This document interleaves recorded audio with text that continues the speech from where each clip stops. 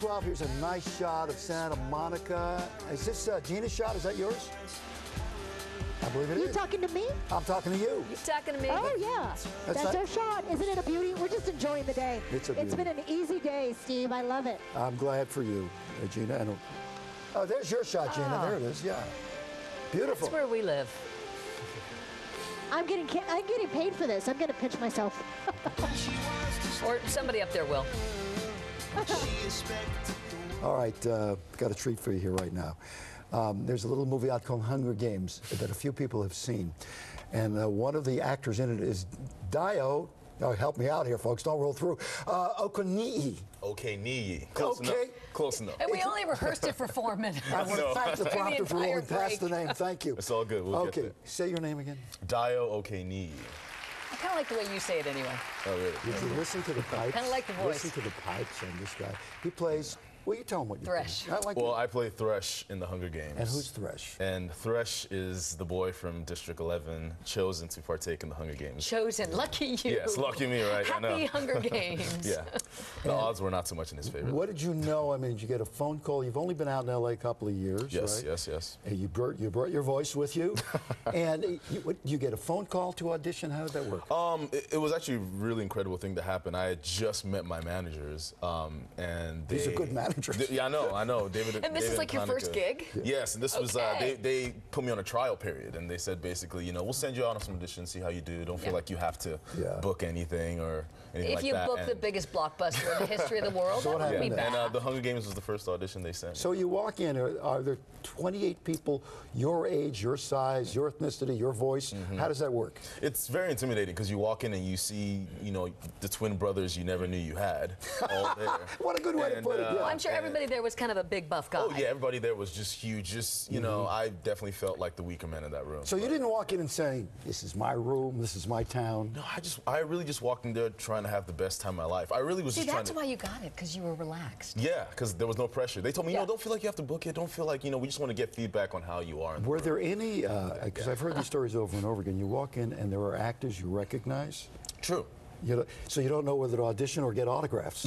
True. It's, it's very much like that. Like Yeah. you walk in and you see like actors who you know are in your age range that you admire, and you just have to like go, Yeah. okay, I'm in the same room with working them." right now, right? Exactly. Now, this kind of thing happened to me a million years ago when I got the job with Regis. I had an audition, and it was so easy peasy because I was never going to get the job. Right. Then I got the job, and I was scared to death for about six months. So, how did you deal with actually getting the job? It was it was definitely like that. You know, I auditioned once and they put me on tape for the producers, and it went on to Gary Ross, and he eventually, the day of my second read, I was supposed to go in for a callback, and that day I got a call that I wouldn't have to go in because Gary just went ahead and cast me off the tape, and I didn't know what to do with myself. I was in the towel, I was about to get in the shower, and I just kind of went, oh, okay, uh, do I still shower? What do I do? And then immediately there was fear of like, oh my God, I'm actually in this thing. I'm getting so I kind of called I'm, my folks. I'm getting in. what I want.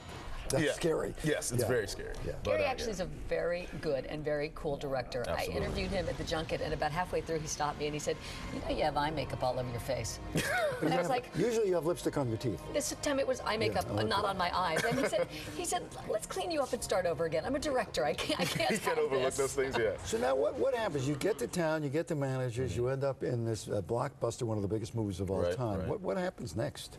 Um, just work. You know, I mean, as an actor, hopefully all actors out there just want to eventually have a great body of work that they can look back on. So this is definitely not the time. I, I said to you when you came in, you could really do. You, I want to talk to your manager, but uh, you do voiceovers. down. yes. you have the voice. I mean, you know, You hear David and Conica? yeah.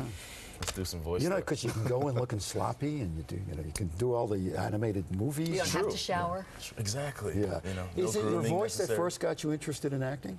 No, I mean, I, I, I did plays when I grew up. Well, I always loved doing plays. I always loved being on stage. And Now you were born in Nigeria. yes, I was born in Nigeria. My father's Nigerian. My mother's Kenyan. Kenyan, yeah. And when, when you grow up where I grew up, acting is just not.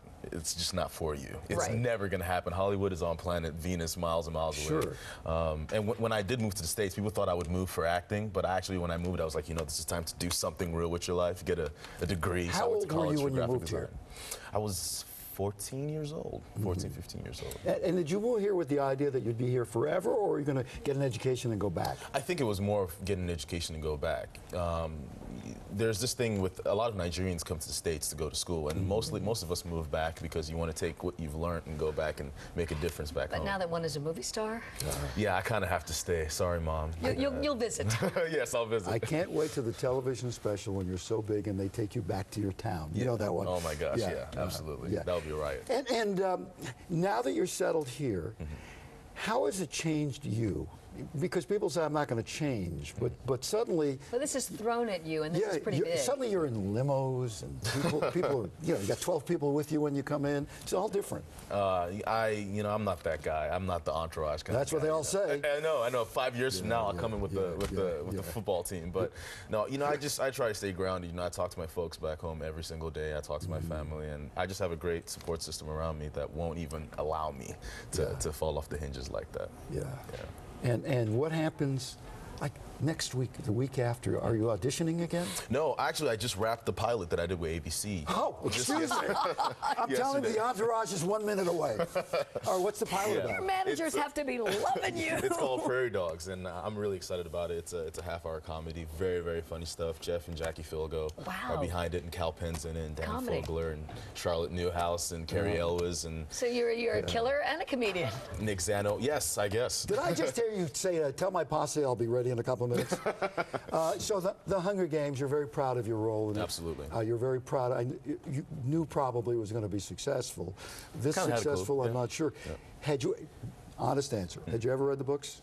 No, when I when I got the audition, I didn't. I knew a movie was being cast because being a young actor, I tried to keep my. Were they ear even telling you it was Hunger Games? Because there was such secrecy about No, it. they, they told us, but I had to sign a bunch of mm-hmm. non-disclosures. Can you Don't talk about it don't now? Talk about it. Yes, I guess I can. I mean, it's out there and it's it's Well, doing I, awesome. I saw the movie, but for, for two months I wasn't allowed to say I'd seen the movie. Wasn't even allowed to reference the movie. Oh my gosh, that's incredible. That's crazy. All right, listen, Dio, it's a pleasure to meet you. The limos are waiting outside.